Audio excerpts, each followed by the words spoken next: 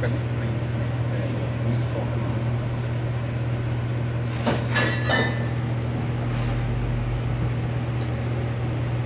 Olha o carro lá passando, cara.